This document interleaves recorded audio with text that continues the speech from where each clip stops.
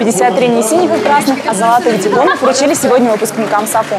Их обладателями стали те, кто сумел отметить свои студенческие годы не только успехами в учебе, но также общественной, творческой и научной деятельностью. Именно они вписали свои имена в Золотой фонд САФУ.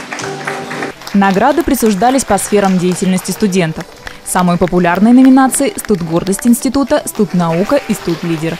Кроме того, университет отметил лучших спортсменов, добровольцев, тех, кто развивал туристическое, творческое и патриотическое направление в САФУ. Мы уже гордимся вами, потому что вы многого достигли.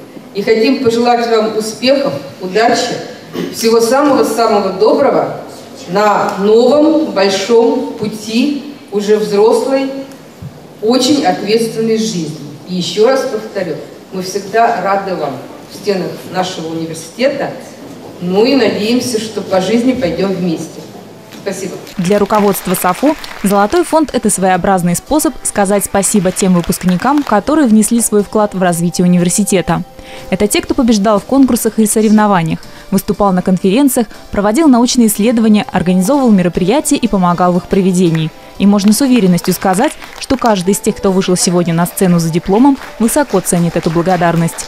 Вообще мне очень хотелось принять участие в данном конкурсе, поскольку мне кажется, что это очень достойно и гордо носить такое звание выпускника года с записью в книге САФУ. А, очень приятно, что труд студентов оценивается. Но «Золотой фонд» – это не только почетное звание. Это еще и доверие, которое выпускникам предстоит оправдать.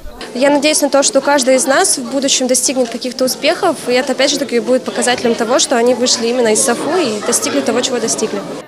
Таисия Машкова, Петр Меньшиков, Артем Юдин, медиацентр САФУ «Арктический мост».